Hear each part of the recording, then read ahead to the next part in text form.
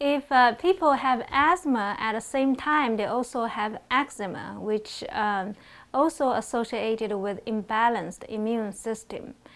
And they usually have uh, redness, uh, itchy area, either in the elbow area or on the around the, the knee joint.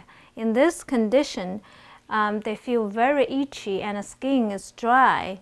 And we think this condition is associated with two conditions.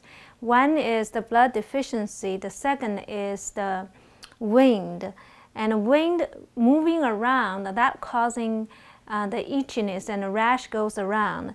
So we choose the point called the triple warmer 6. And uh, this, this point is uh, 3 inches above this transverse wrist line.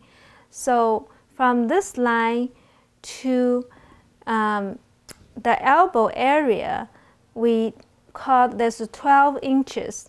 And half of that will be 6. The other half will be 3. And between the two bones, the radius and ulnar bone, and that's the point called the triple warmer 8. And this point we can stop itchiness and insert needles perpendicularly and um, dispersing this point.